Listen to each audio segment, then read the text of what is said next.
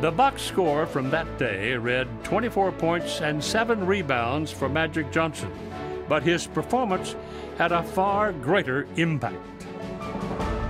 That game really put college basketball on the map. That's the night the Final Four became the Final Four. I mean, that's the night that uh, I think the NCAA tournament changed to what it is today.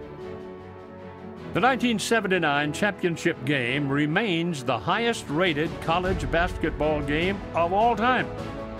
And those millions of viewers saw Magic Johnson lift the sport